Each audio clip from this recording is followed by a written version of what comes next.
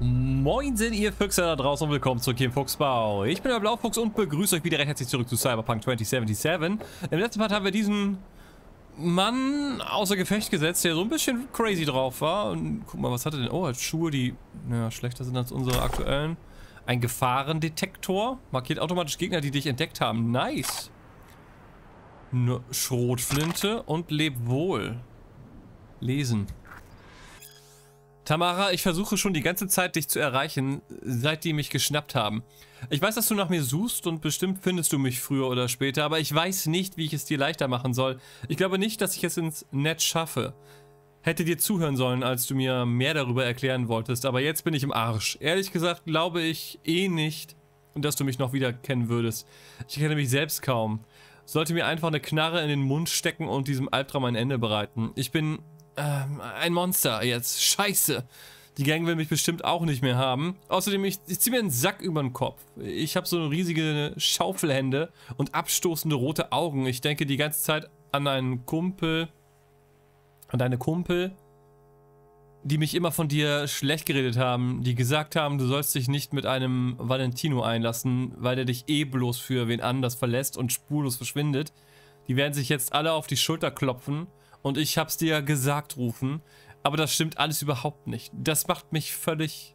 Das macht alles völlig lokos. So als würde mein Schädel gleich explodieren. Der Druck steigt und steigt und ich habe keine Ahnung, was passiert, wenn es zu viel wird. Dann kommt der Blaufuchs rum und muss dir leider ein Ende bereiten. Schicke Regina eine Nachricht über die Cyberpsycho-Attacke unter der Erde. Er lebt auf jeden Fall noch. Die sind nicht tot, wenn man sie in Anführungszeichen umbringt. Boop. Okay. Regina Jones. Nachrichten öffnen. Unser Junge war Valentino, nicht Maelstrom. Hat sich wohl Feinde bei den Borgfressen, ge Borgfressen gemacht und die dachten sich, sie feiern dieses Jahr etwas früher Bescherung. Haben ihn wie einen Sünd-Weihnachtsgans mit Implantaten vollgestopft und dann nur gewartet und zugeguckt, wie er durchdreht. Würde mit jedem passieren, der so schnell gechippt wird. Der Körper hatte nicht genug Zeit, um sich an die Cyberware anzupassen und er wurde zu einem Psycho. Zum Glück hatte er noch etwas Kontrolle über sich, so konnte ich ihn still ausschalten. Holy shit. Sieht aus, als ob unsere Junge sich nicht mal reizen musste. Vor einer Weile hat Maelstrom verbreitet, dass sich Freiwillige für den Test von neuer Cyberware suchen. Hat sich natürlich niemand gemeldet, also haben die Borgfressen einfach Leute von der Straße aufgesammelt. Die Valentinos haben schon eine Weile nach einem Jungen gesucht. Nicht zu vergessen der Runner, der seine Datenfühler im Netz ausgestreckt hat, um ihn zu finden. Jedenfalls muss er sich irgendwann befreit und um sein Leben gekämpft haben. Und die Maelstromer haben das Ergebnis ihrer Forschung am eigenen Leib erfahren. Mit der Aktion haben sie sich prächtig selbst in den Arsch gefickt. Echt gut, dass du den Kleinen ruhig stellen konntest. Er ist noch jung. Mit der richtigen Hilfe kann er lernen, mit seinem neuen Zustand umzugehen. Also wir bringen die also offensichtlich nicht um. Wir beruhigen die nur. Das ist doch schön. Okay. Mission abgeschlossen. Gibt es hier noch irgendwas zu entdecken? Ich kann sagen, wir sind doch hier noch nicht durch. Mitnehmen, mitnehmen, mitnehmen paar Euro, Dollar gehen immer.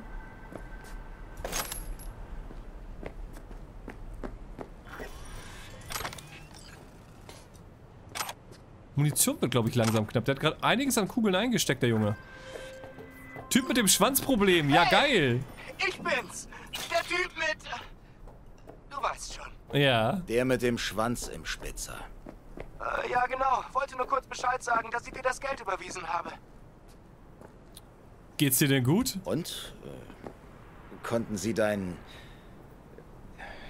Dein Teil, äh, du weißt schon... Retten? So gut Sie konnten und... Äh, wenigstens sind die Schmerzen weg. Egal. Sobald alles verheilt ist, besorge ich mir ein besseres Modell. Achte auf die Garantie. Mal ehrlich, warum? Nee, achte auf die Garantie. Mhm. Aber achte diesmal auf die Garantie. Mach ich. Pass auf dich auf. Mann mit dem Schwanzproblem. So, das war wirklich witzig. Was ist hier los? Todesursache Schock und Blutverlust durch mehrere Fleischwunden. Okay. Gleiches Problem. Ist komplett durchgedreht, der Junge. So. Okay. Dann sind wir jetzt hier, glaube ich, erstmal durch. Guck mal hier noch in diesen... Hier rein. Das sieht immer... Sowas ist immer verdächtig hier. Ist aber nur Heilung. Okay. So, dann würde ich sagen, raus hier.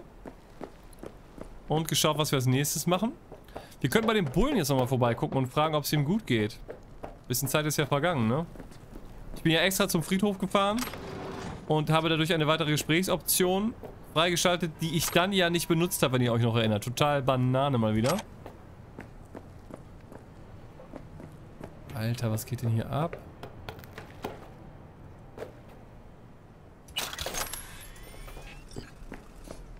Okay, nix wie weg hier. Ist mir zu gruselig. Ich möchte hier nicht länger verweilen. Okay. Machen wir mal die Map auf. Ich guck mal, was hier sonst noch so ist. Hier können wir ein Fahrzeug kaufen. Was ist das? Kleptomanie. Hier sollst du etwas für einen Auftraggeber stehlen. Ja, tut jetzt, hier müssen wir nochmal was stehlen. Was haben wir hier? Unentdeckt. Wer weiß, was hier auf dich wartet und ist ein Mittel. Alter, hier ist einiges noch los. Vieles davon sind halt Fahrzeuge. Wäre irgendwie cool, wenn man das ausschalten könnte, was interessiert mich halt echt überhaupt nicht. Sehr hoch, sehr hoch, sehr hoch, hoch. Was haben wir hier noch? Auch sehr hoch, sehr hoch. Ich würde sagen, wir machen dann jetzt doch. Eine Nebenmission Mittel haben wir hier noch. The Beast in Me, Stadtzentrum. Begib dich zum Rennen. Ja, das Rennen haben wir ja auch noch. Was ist hier nicht los? Sehr hoch, hoch. Gefahr Mittel. Ich würde sagen, wir machen wieder Main Quest, oder? Begib dich zum Kampf im Kabuki. Wir können natürlich auch mal die Kämpfe machen, wir haben keinen Bock auf Kämpfen. Kämpfen ist voll lame. Kleidung. Hier kannst du Kleidung kaufen. Was ist hier noch? Ein Auto. Okay. Ne, komm, wir machen jetzt Main, Main Mission. Journal. The Beast in Me. Was ist denn das? Das mit den Graffitis. Beast in Me. Happy Together. Sie nach Barry. Barry! Komm, wir gucken nach Barry. Lass uns eben noch nach Barry gucken und dann geht's los. Wir haben zwei Vorteilspunkte erreicht. Voll nice. Tech-Fähigkeit ein bisschen höher wäre schon nicht verkehrt, Alter. So auf sieben wäre schon cool.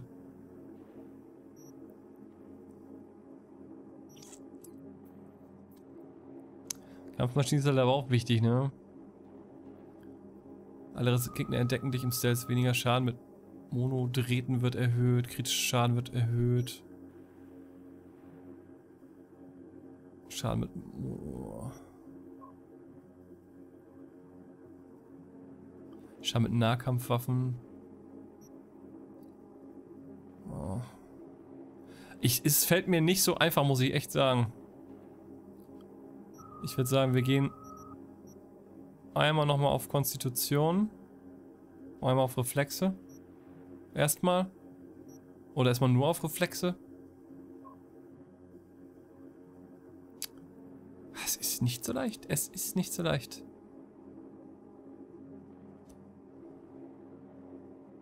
Ach, ich, ich Idiot, wir haben Vorteilspunkte. Uh. Denkt der Fuchs die ganze Zeit nach, erhöht den Angriff mit Klingenwaffen 20% mehr Tempo. Wir können auf jeden Fall mal Klingenwaffen ein bisschen erhöhen. Verringert die Ausdauerkosten für alle Angriffe mit Klingenwaffen um 50% erstmal erhöhen. Wir gehen jetzt mal ein bisschen auf Klingen. Tatsächlich. So. Und dann sehen wir jetzt erstmal nach Barry. Komm, auf geht's. Ich hab Bock zu wissen, wie es Barry geht. Barry! Dann müssen wir mal diese Mantis-Klingen uns irgendwann organisieren. Die gibt es beim Ripper Dog, aber ich glaube, das Wer sind hätte Code... das gedacht? Was denn? Wer hätte was gedacht? Wie redet einfach wäre. Ist in Ordnung. Er redet manchmal mit sich selber. Muss man auch mal machen. Und nachdem wir Barry besucht haben, machen wir wieder Main Quest. Dann gehen wir erstmal zum Tempel. Ich habe das Gefühl, es wird Zeit, da mal aufzutauchen. Vorher geht es, glaube ich, nicht weiter mit den coolen nächsten Nebenquests. Vorsicht!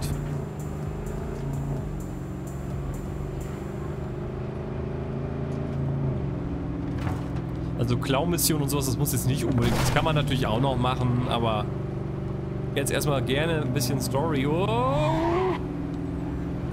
Hier einmal rum, hier einmal rum.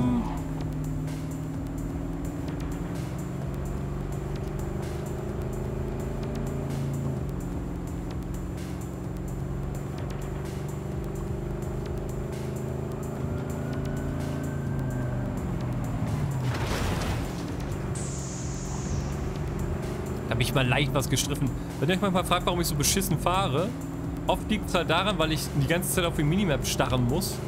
Um zu gucken, ob ich irgendwo abbiegen muss. Jetzt momentan meint das Game, ich muss sonst irgendwo lang. Jetzt ist es wieder normal. Muss man nicht verstehen. Oh, vorsichtig. Ah, läuft.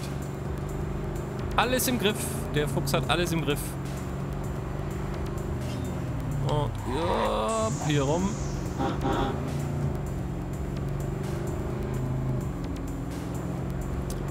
Und dann sind wir doch gleich zu Hause. Bei Barry. Au.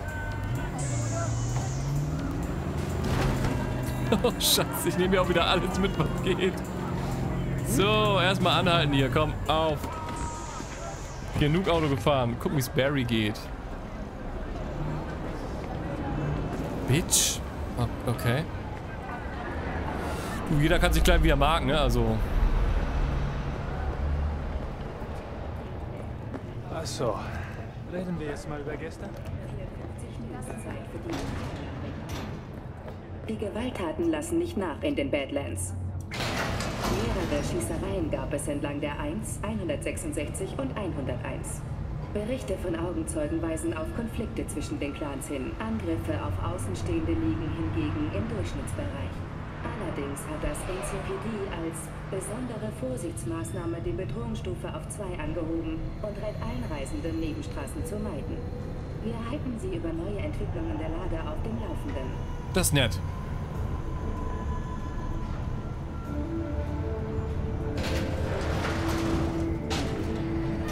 So, mal gucken, wie es Barry geht, Try wa? out our freshly developed new tastes and let your tongue be moved. Gott schütze die Schutzu. Das soll Gott mal machen. Ich muss mir eben die Dinger einsammeln, weil die liegen immer rum und leuchten und machen mich wahnsinnig. So. Barry! Du verdammtes Arschloch! Es tut mir leid, okay? So leid. Scheiße. Mendes, es ist zu spät. Er kann dich nicht hören. Deine Gene waren in Ordnung, Barry. Du warst der härteste Hurensohn, den ich kannte. Es tut mir leid, Barry. Tut mir so leid. Okay. Fuck. Was soll das? Zurück! Ist, ist doch gut. Ich, ich wollte doch nur... Scheiße. Weil wir die falsche Gesprächsoption gewählt haben, ja, ist Barry jetzt tot. Er hätte überleben können. Und ich bin extra rausgefahren zum Friedhof, um das rauszufinden. Und habe dann die falsche Gesprächsoption gewählt. Und jetzt ist Barry tot. Und ich hasse mich dafür. Ich hasse mich dafür. Ja? Nur, dass ihr Bescheid wisst. Krass. Wow. Das ist ja mal richtig scheiße gelaufen. Wow. Okay. Ich würde sagen, nächste Quest. Triff dich mit Takemuro, begib dich zur Kapelle, sprich mit Rogue. Ich würde sagen, wir gehen jetzt erstmal zur Kapelle oder was? Ich will jetzt. Na komm. Wir treffen uns jetzt nochmal mit Takemura. Oder doch zur Kapelle? Gehen wir zur Kapelle. Ich will jetzt wissen, was bei der Kapelle abgeht. Scheiße. Was soll das? Das ist jetzt mal aber richtig scheiße gelaufen. Wow. Krass. Das tut mir jetzt auch ein bisschen leid, vor allem, weil ich mir ja die Mühe gemacht habe, extra rauszufahren. Ich habe ja nur aus Versehen den falschen Gesprächs... falsche Gesprächsoption gewählt und jetzt ist Barry tot.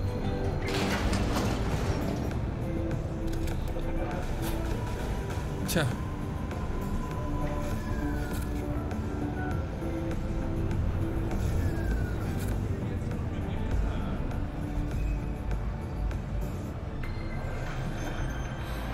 Erstmal Werbefernsehen sehen, das wird mich ablenken. Real Water. What? ah, in Bronco steckt, was Pflanzen schmeckt. Milfgard. Und auch echt unzensierte Titten. Ich glaub's ja wohl nicht. Also die Zukunft ist einfach nur komplett voll mit Sex. Mehr ist das nicht mehr. Es ist nur noch Sex. Nur noch Sex. Oh. So ein paar Grafikfehler haben wir hier. Alles gut. So, wir brauchen ein gemütliches Auto. Irgendwas Kleines, Lustiges. hätte gerne diese Rumsmurmel hier wieder. Die sieht lustig aus. Darf ich mir dein Auto leihen? Bitte? Du kannst das andere haben. Das ist teurer und größer.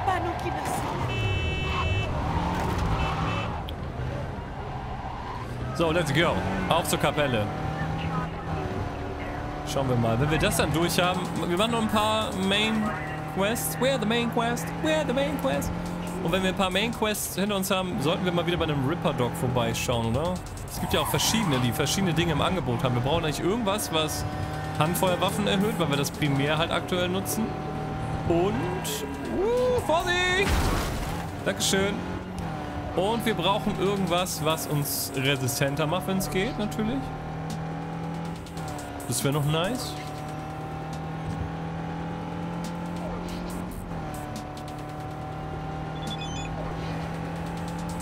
Hey, wie? Ich habe gute Neuigkeiten. Oh! Oh, ein Auto. Ernsthaft? Dafür habe ich jetzt einen Crash gebaut. Ah, und noch ein. Also, dass diese Autos als normale Quests auftauchen, ist ein bisschen nervig, ne? Also, jetzt mal ernsthaft. Da wären ein paar Filter gut, um das Überblick über diese Open-World-Map zu kriegen, die voll gestopft ist mit Zeug. Nicht so schlimm wie manch Assassin's Creed Game. Oh. Aber schon schlimm. Dürft ihr mal bitte vorbei? Walk. Walk. Danke.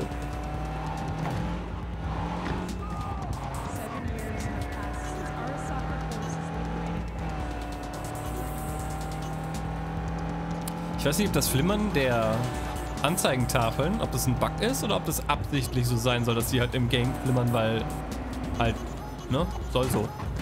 Bin mir da inzwischen gar nicht mehr so sicher. Ich mal eben durch hier bitte, Dankeschön. Wir müssen, ach, da ist wieder so eine kleine Rumsmummel in grün. Ich bin ja Fan von dem Ding, ne, also dieses ganz kleine Mini-Auto, das ist witzig. So, gleich sehen wir da. Vorsichtig! Er schlingert hier so ein bisschen. Hast du getrunken oder was? Leicht am Schlingern, der Junge. Gehen einmal dran vorbei. Oh. Und die Framerate sagen einfach nur so, weißt du, geht so.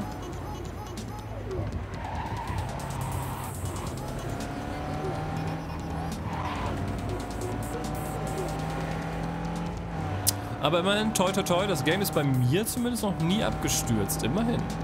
Gibt es schon den einen oder anderen lustigen Backer. Aber sonst, es sieht halt schon okay aus auf dem PC. Da kannst du echt nicht meckern. Aber so, man muss sagen, inzwischen sind echt tiefe Probleme halt haben sich rauskristallisiert, wo jetzt vieles schon durchhaben. Und da hat sich dann doch gezeigt, es gibt ein paar Schwächen. Also primär das Polizeisystem ist eine Vollkatastrophe, das Crafting ist eine Vollkatastrophe, das Itemsystem mit den Klamotten finde ich eine Vollkatastrophe. Keine Ahnung, wer sich das ausgedacht hat. Ich sehe ja aus wie so ein Bekloppter, weil... Aber das, das ist ja nichts, was man nicht patchen kann, sag ich mal, ne? Sind wir das erste Mal in Coast View? Ich glaube schon, oder? Das wirkt so edel hier. Also viele der Dinge lassen sich patchen, aber ich glaube, die NPCs zum Beispiel, dass die sich vernünftig verhalten, und nicht aussehen wie eine Horde Leute, die gerade versuchen auf Google Maps einen Ort zu finden. Das wird, glaube ich, nicht mehr patchbar sein. So, ich park dann mal hier. Where the main dish? Where the main dish? Sind das Feinde oder warum haben die so... Moin. So, wir müssen jetzt dahin und dann passiert da gleich was. Die Problematik ist, dass die Folge gleich Hallo? vorbei ist. Bei dir alles gut oder was? Das weiß ich noch nicht. Ich wollte eigentlich darüber, zu dieser Tür. Und du? Stehst du hier rum und chillst dir die Nuggets? Keine Ahnung, Alter. Ja, wir genießen jetzt noch kurz äh, die Atmo, weil die Folge in 14 Sekunden zu Ende ist und es lohnt sich jetzt nicht mit der nächsten dicken Story anzufangen. Ne? Wenn gleich Schluss ist. Deswegen würde ich sagen, wir, wir, machen einfach schon ein bisschen vorher, ein bisschen entspannt, ganz gemütlich. Langsam leiten wir die Verlassung für die heutige Folge ein. Da ist es auch schon. Aha, ist doch gut, ist doch gut. Ich drücke die mal weg. Leute, ich bedanke mich an dieser Stelle bei euch fürs Zusehen. Hoffe, ihr hattet soweit ein bisschen Spaß. Wenn euch das Ganze gefallen oder nicht gefallen hat, lasst es bei den Däumlein da. Kommentare und Feedback natürlich, wie wir gerne unter Video posten. Und ansonsten sehen wir uns dann gleich im nächsten Part wieder und gehen zur Kapelle. Bis dahin euch viel Spaß beim Zocken. Tschüss, euer Blaufuchs.